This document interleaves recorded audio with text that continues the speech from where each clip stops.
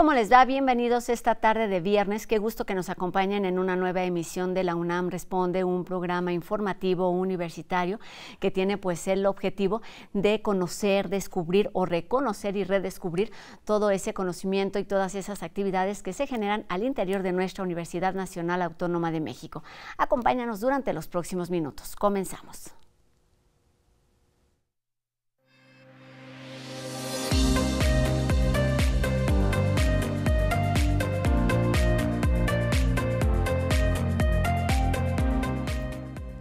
Sabemos que el mundo se va reconfigurando de diferentes maneras para satisfacer muchas necesidades, ya sean económicas, sociales, políticas, pero bueno, desde hace algunos años las empresas están buscando acortar distancias con sus consumidores, disminuir costos en salarios, pero también en insumos y por supuesto generar más ganancias. Todo ello implica la relocalización de sus centros de producción y hoy conoceremos más sobre el nearshoring y cómo es que se está viviendo actualmente en nuestro país. Y para ello saludamos al doctor en Economía, César Salazar López, que pertenece al Instituto de Investigaciones Económicas de nuestra universidad. ¿Cómo estás? Bienvenido. Muchas gracias, muy bien, gracias. Pues hablamos de, de este tema que parece muy complejo, pero al mismo tiempo está muy presente y muy cercano en las empresas, en las economías, en qué está sucediendo. Comencemos por ahí. ¿Cómo identificarlo? ¿Qué lo define? El nearshoring. Bueno, el nearshoring habría que eh, pensar un poco en cómo se ha estructurado la producción mundial. ¿no? Se habla mucho de cadenas internacionales de valor o cadenas globales de valor, que lo que intentan descifrar o decir es como un producto final que termina con algún consumidor estadounidense, una pantalla plana, un automóvil, se va ensamblando en distintas partes del mundo. En, en, en, China se produce una parte, en México se arma otra, que finalmente es lo que da lugar a un producto final. Eso es una cadena de valor. Entonces, estos procesos de deslocalización desde los centros productivos de países industrializados o la deslocalización de, o relocalización de otras actividades productivas a lo largo de la cadena, lo que significa simplemente es cómo pasas de, tomar alguna parte de ese proceso productivo y llevarlo a otra localización geográfica, por lo que tú mencionabas.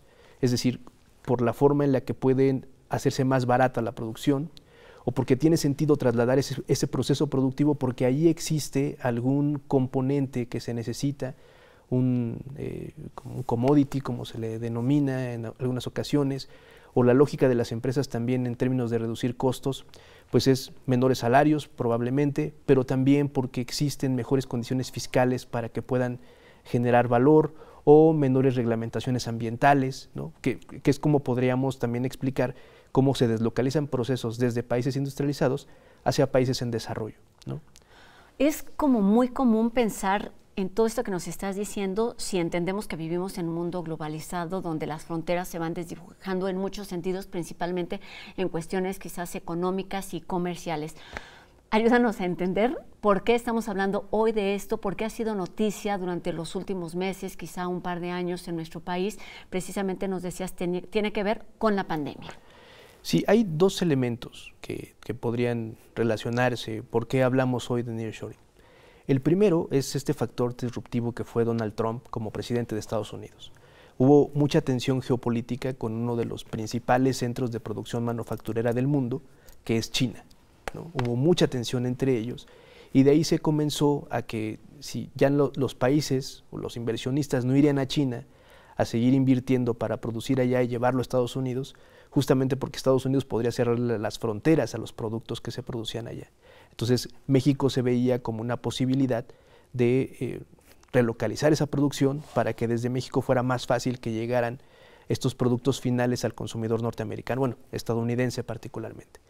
Pero también otro momento de inflexión en esta discusión del nearshoring, de la relocalización de actividades productivas hacia México, fue porque en el contexto de la pandemia muchos países tuvieron políticas de cero tolerancia al COVID.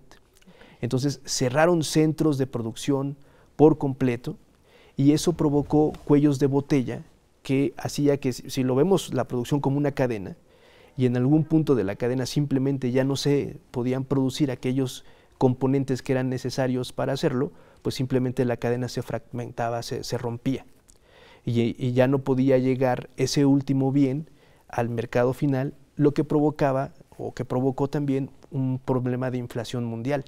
Recordemos que después de la pandemia hubo un incremento de precios que presionó muchísimo a las comunidades, a los países en general, Estados Unidos, a México, pero que se provocaron justo porque la cadena de suministros no se completaba. Entonces, al haber estos, estos eslabones que no podían producir eh, por estas políticas de cero COVID, particularmente también en China, entonces pues se piensa que tener la producción completa, la cadena de valor completa de un bien que se consume en Estados Unidos, tener esa cadena de producción en Norteamérica, es decir, en México, pues podría ser mucho mejor y por eso se piensa que la relocalización también puede darse hacia México, ¿no? para complementar estas cadenas sin el temor de que existan algunos otros eh, problemas eh, eh, en países que son suministradores de bienes de esa cadena y traerlo a México para que sea como más certero ¿no? el punto de producción. Claro, entonces estamos entendiendo que es una constante, digamos, a lo largo de los años que se vayan buscando estas mejores condiciones en cuanto lo que se busca, vamos, en cuanto eres empresario, pues es tener mejores ganancias. Esto implica que vayas buscando los caminos para, en términos de impuestos, en términos de, insumos, en términos de salarios. Porque México, a partir, además de lo que ya nos dijiste, es este escenario que se ha vuelto un punto importante para que Japón, Japón no, China, perdón, y, y, Estados Unidos estén volteando a mirar a lo que sucede o lo que pueden hacer principalmente en nuestro país. Sí, yo creo que China tiene una gran diversificación de países en donde poder, o, tiene, tiene intereses económicos en particular supongo que mucho más hacia Sudamérica, particularmente en Brasil. ¿no? Y lo que mira la relocalización son los intereses económicos desde Estados Unidos hacia México. ¿no? Ese es un punto eh, importante. Y como bien lo mencionas, realmente estos procesos de deslocalización y relocalización llevan eh, años, décadas. ¿no? En México eh, no, no, no, puede pasar inadvertido que ya tenemos 30 años de, de, que inició el Acuerdo de Libre Comercio de América del Norte, el cual en sí mismo es una parte similar.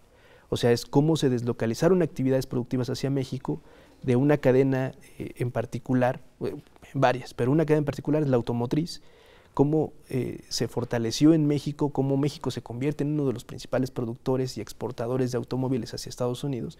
Y no se puede entender, digamos, en el, en el corto plazo. ha sido un largo camino que al menos ya lleva tres décadas. Son procesos, como bien dices, complejos que impactan en muy distintas áreas. Hoy, eh, en este 2024, después justo de la pandemia, después de este movimiento, digamos, más reciente, ¿cuáles son los beneficios o, digamos, las desventajas que puede traer a México un movimiento de este tipo? Porque es un movimiento masivo, importante, digamos, después de este Tratado de Libre Comercio. Claro. El, hay, hay, es, es interesante hacer análisis de ponderar, cuál es el, efecto neto, positivo o negativo. Y es un poco complicado poderlo responder. Yo creo que dentro de lo, eh, digamos, que se, mira siempre como algo positivo es que México se, se, convirtió en estos 30 años y que con el nearshoring podría todavía profundizarse más esto, se convirtió en el primer socio comercial de Estados Unidos nuestras exportaciones crecieron significativamente. O sea, la tasa de crecimiento de nuestras exportaciones ha sido del, más del 6% promedio anual eh, durante el periodo. Lo cual podríamos pensar, si, si se deslocalizan más empresas o se, relocalizan más empresas en México, esa tasa de crecimiento podría incrementarse. O sea, como, como modelo exportador ha sido todo un éxito esta incorporación de México hacia las cadenas internacionales de valor. Ahora, lo negativo, o que yo miro como negativo, es que este éxito en el sector exportador no se ha traducido en un éxito para eh, mayor crecimiento y desarrollo económico en México. Claro. O sea, si bien es cierto que las exportaciones crecen a más del 6, el Producto Interno Bruto en este periodo apenas crece 2%, una no se ha visto reflejado ahí, no se ha visto reflejado ahí. No, no, no ha podido permear al resto de la estructura económica. Entonces lo que tenemos es un sector o varios sectores, pero muy contados, que son exitosos en este modelo, pero que no ha resultado ser exitoso para el conjunto de la economía. ¿no? O sea, no, no, no, no, acabamos de resolver los problemas de crecimiento y de distribución. ¿Cuáles son algunos de estos sectores que han sido más demandados para esta forma de, de producir y de comercializar? El, me parece que el, gran triunfador es el sector automotriz. el sector automotriz es el que deberíamos ver como el gran eh, em, triunfador, digamos, el que se ha beneficiado mucho de esta integración de las cadenas de producción eh, en, México, hacia las cadenas de producción internacionales. Pero también tenemos otros, por ejemplo, eh, componentes en particular de automotrices, y México también ha sido un gran exportador de pantallas planas, este tipo de manufacturas incluso de alta tecnología. México tiene un coeficiente de, de exportaciones de alta tecnología importante, interesante, y también de mediana tecnología. Pero, eh, digamos, son estos sectores muy específicos que son los que se han visto em, pues, eh, beneficiados de esta integración de la economía mexicana hacia las cadenas de valor internacional. Se ha hablado mucho también, vamos, de estos beneficios que se quedan ahí justo limitados, digamos, por los actores principales, que son los empresarios, que son quienes a fin de cuentas hacen esta comercialización y quienes se quedan con los beneficios económicos. Pero se habla de los del impacto que podría tener en otras áreas como la infraestructura, una nueva o una mejor legislación en este sentido que beneficie. ¿Qué decir de esto? ¿Cuáles son las posibilidades, digamos, o qué se tiene que fortalecer para que esto permee eh, en la economía mexicana? Sí, yo creo que un punto importante es que llevar esos, esos sectores que son beneficiados, que, puedan incorporarse con el resto de la estructura económica del país. ¿no? O sea, que, que se puedan ya no solamente pensar en términos de un engranaje productivo con las cadenas internacionales, sino lograr un engranaje con las cadenas locales de producción. Eso podría tener muchos más beneficios, que, que, el, que el país, algunos pequeños productores, pequeñas, medianas empresas, pudieran convertirse en proveedores de estos sectores más exitosos. Esa podría ser una, eh, una muy buena política industrial para aprovechar este impacto positivo en las exportaciones, pero con una mayor cantidad de producción local, ¿no? que no solamente México se convierta en un país que aporta mano de obra, sino que también pueda aportar eh, mayores insumos hacia la producción. ¿no? Eso yo creo que es lo, lo benéfico. Y bueno, por supuesto, no deberíamos quedarnos atrás en términos de mejores eh, formas de cobrar impuestos. O sea, que, además si las empresas vienen y se instalan, eh, pues eh, intentar evitar los, los, daños ambientales, o sea, que minimizar eso, probablemente sea imposible evitarlos por completo, pero sí mediante un plan integral en el que se vea que, que las empresas paguen impuestos, finalmente, que eso también ayudaría mucho, pero por otro lado también que, cuiden del medio ambiente, en los lugares en donde se, se, instalan. Tenemos problemas de agua, ¿no? tenemos problemas de contaminación. Eh, una, una, buena medida sería también que pudiéramos incorporar alguna parte de la matriz energética a estas industrias, aprovechar la energía eólica, la energía solar, ¿no? intentar quitarnos un poco la parte de las energías fósiles, no, sé, o sea, tendría que ser un plan muy integral. Justo en eso estaba pensando, se requiere de intereses de o aportaciones, participación de la iniciativa privada, se requiere una mejor eh, formación de recursos humanos, pero se requieren políticas públicas, se requiere todo eso, entiendo. Es un problema complejo, sin duda, sin duda.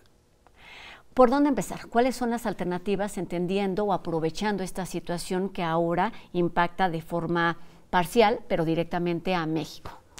Bueno, las alternativas es, eh, digamos, consolidar un modelo de exportación que, como ya lo mencionaba, vincule una mayor cantidad de productores locales.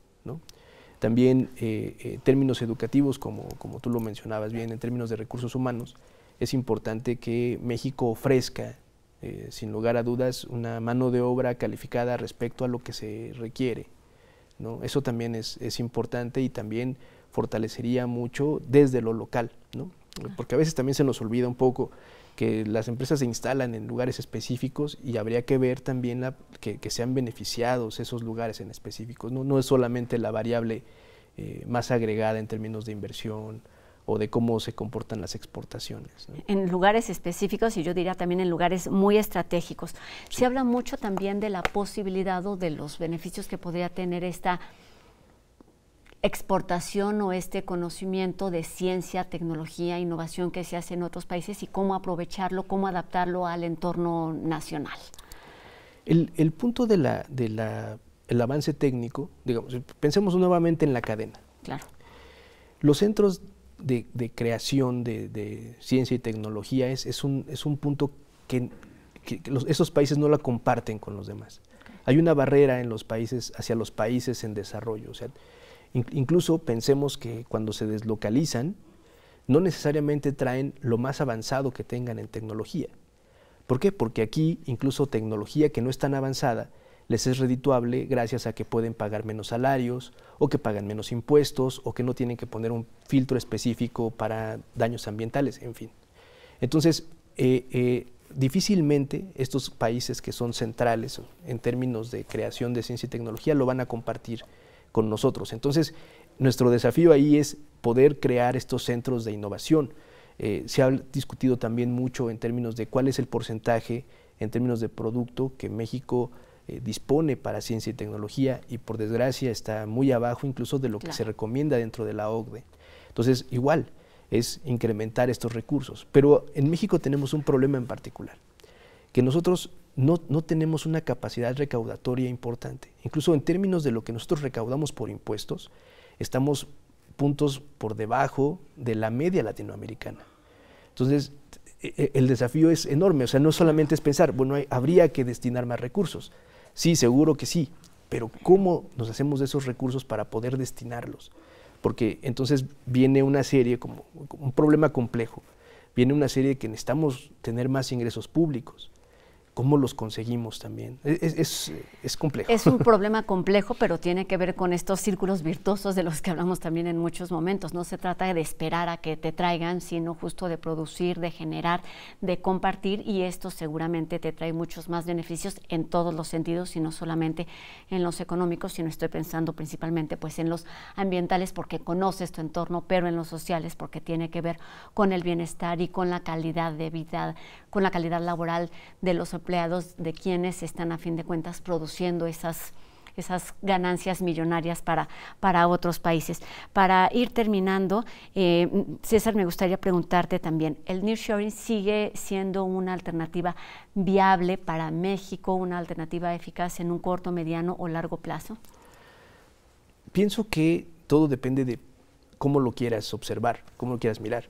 ¿No? Es, es por supuesto que para los sectores que hemos identificado como los grandes eh, triunfadores, que son exitosos, pues el nearshoring seguirá siendo una, estrategia adecuada, importante.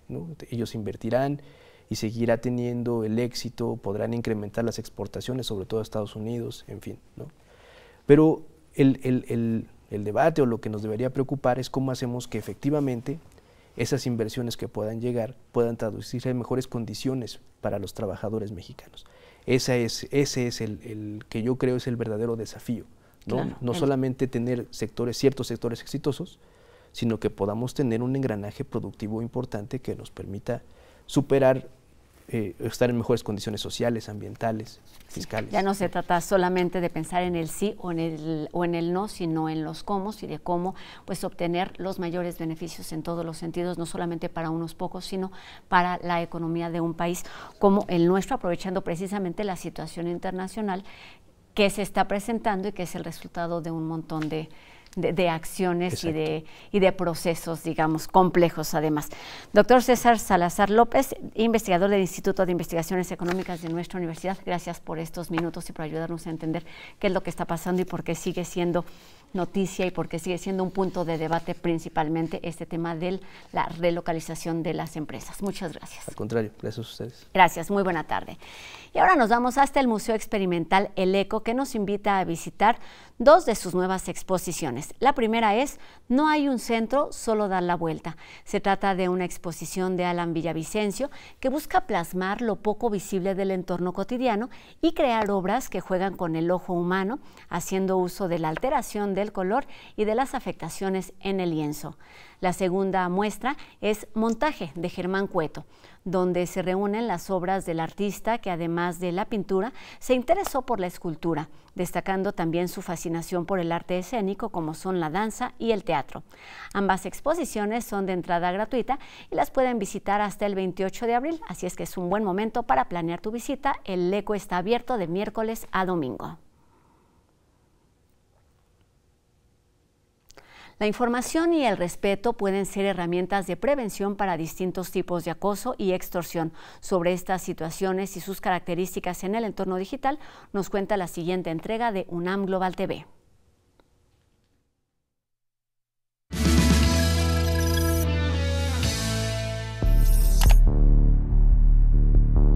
El uso excesivo de redes sociales y videojuegos puede facilitar el grooming, un problema que puede llevar a extorsión, pornografía e incluso trata de personas. Es considerado el acoso sexual a niños, niñas y adolescentes por parte de un adulto. Estrictamente tiene que ser en línea y estrictamente tiene que ser de un adulto a un menor de edad.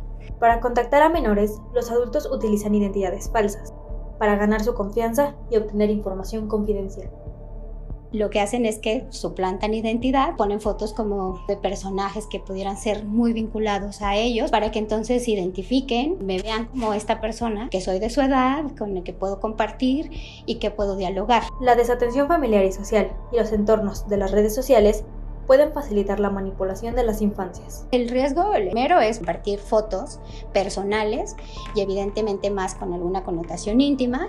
El segundo riesgo es el que existe un chantaje por parte de la persona que hace grooming. En momentos de vulnerabilidad, los agresores obtienen material comprometedor y amenazan con divulgarlo, a menos que se envíen imágenes explícitas o se pague dinero. Pueden extorsionar a los niños o inclusive llevarlos a un chantaje de un contacto sexual directo. Si las y los menores suelen aislarse, no dejan que nadie tome su celular o registran episodios de ansiedad o insomnio. Podrían estar presentando signos de este ciberacoso infantil. Como prevención, los padres deben promover un diálogo sobre los riesgos tecnológicos y establecer reglas de control. Enseñarles a los niños y niñas que cuando les envían invitaciones sean personas que físicamente conocen entonces tiene que haber un acompañamiento. Cuando son muy chiquitos, cuando son adolescentes, evidentemente también es importante enseñarles a respetar su privacidad, pero hablar abiertamente de los riesgos que pudiera haber.